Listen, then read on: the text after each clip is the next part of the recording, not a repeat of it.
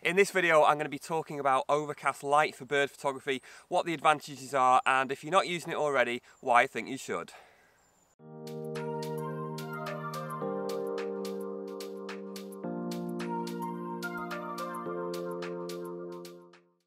Welcome to part three of this mini series on lighting in bird photography. Part one was all about using sunlight with the sun behind you. Part two was all about backlighting, shooting into the sun. And this part is all about using overcast lighting, which is completely the opposite of the first two videos. So what do I mean by overcast lighting? Well, today is pretty much perfect for making this video because it is very overcast. And really it just means shooting under some degree of cloud. So in the first two videos, I was talking about shooting when the sun is quite bright so the, the sky's clear. Uh, with overcast conditions, you're shooting when there's a fair amount of cloud around. And what that means is you just get much more even lighting. So if it's a clear sky, you're only going to get your light from one direction. There's nothing to diffuse it. When it's very cloudy as it is today, you almost don't know where the sun is coming from. I know where the sun is because I know my position, uh, but if I didn't, I wouldn't know where the sun is at the moment. So today is perfect and this is what you want to look for for overcast lighting is to get an even layer of cloud. This is just the best conditions for doing this is to get an even blanket of cloud across the sky how does overcast light affect our images? Well, it really is very different to shooting in bright sunlight as in the first two videos because we've got this even layer of cloud. It gives a much softer appeal, a uh, much softer look to the images. Also, because you've got less contrast, it means you've got less highlights and less shadows. That can be really good for exposure. It can make it easier to expose because you don't have quite that uh, exposure value from the darkest areas to the lightest areas. And also, you can pretty much shoot in any direction because you don't have a strong strong light source from one direction, uh, you could pretty much do a complete 180 degrees and shoot in the opposite direction and it probably wouldn't look too different.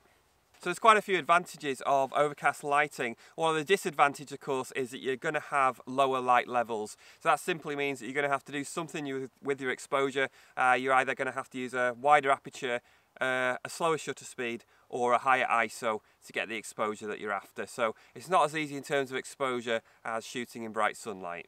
For bird photography, I think that overcast lighting can really bring out the detail in the feathers. Sometimes I think it actually looks better in softer lighting than it does in bright sunlight. So that's one of the things I love is just how it can bring out the feather detail, particularly in birds that have a lot of detail to begin with. I think it can really enhance that.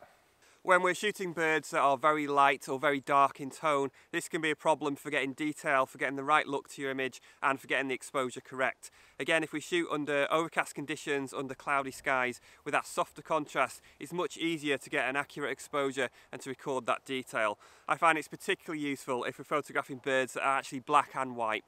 This image here is of two razorbills photographed at Bempton Cliffs on the East Yorkshire coast. Now if I was to have photographed this in bright sunlight it would have just been much more difficult. It would have been really difficult to adjust the exposure, make sure I didn't blow out the whites. Photographing under a cloudy sky that day made it much easier to record the whites and the blacks to get a nice even exposure I'd mentioned about the shooting direction in overcast light. This example here is of a young peregrine falcon that's recently fledged the nest. And at this location, where I'm shooting here, if the sun had been out, it would have been very, very difficult. It would have been kind of side lit, very, very difficult to judge the exposure. Wouldn't have been able to get a pleasing shot and get that feather detail. But with the overcast conditions, really didn't matter on the direction of shooting. So I was able to shoot as it was and get some lovely detail in the backs of those beautiful feathers. Something I think is not talked about too often in terms of overcast lighting is actually the effect it can have on the background. So it can make a massive difference to your background. A lot of people don't realise this. So if you're shooting in bright sunlight, because again, as we talked about earlier, you've got more contrast. That means you've got more shadows, more highlights. That's going to give potentially more of a messy background and it can increase the noise in your images as well as the noisy plane goes overhead. If you were to shoot from exactly the same position with the same background, but you do it on a day where the lighting is overcast, then you'll find the background looks completely different. It should go much softer. So in this example here, uh, I've got two images to show you to compare. The first image is of a great tit, and this is taken from a feeding station. And you can see here that the background, because it's taken in bright sunlight, the background is looking quite messy. It's much messier than I would personally prefer. A dappled effect is okay, but here, here I think it's a bit too much. So because you've got bright sunlight, lots more contrast, messier background, it's also in increasing the noise. We've got more noise in the image as well. In contrast, this picture of a robin, this is the same perch with virtually the same shooting angle, same background, but it's shot on a day where I've got even cloud cover. It lowers the contrast and you can see the difference. The background goes so much smoother, much, much more pleasing to me, and it also takes out some of the noise there as well. And this kind of leads me on to the next point, which is shooting in woodlands. If you do this in bright sunlight, you just, because you've got so much contrast, again, you're gonna have highlight areas, shadow areas. It's gonna be really uneven, really difficult to get an exposure. And yes, it is possible to do, and you maybe could wait for a shaft of sunlight in a certain place, maybe use a bit of fill-in flash. But I find it's much easier if you just wait for an overcast day to do your shooting in the woodland. This image here of a sparrowhawk was taken in Serbia and we were just waiting for it to come down to the reflection pool.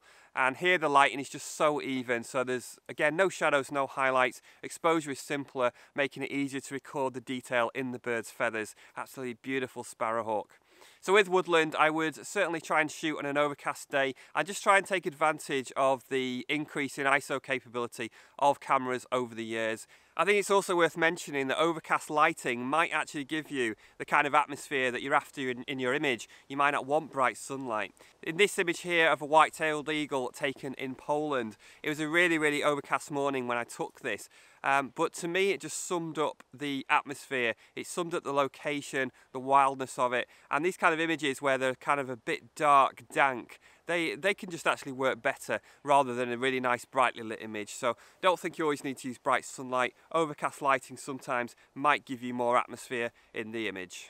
There are two more videos all about lighting in bird photography. I'll put them in the description box below and you can find all three videos, all three videos on a playlist on my channel.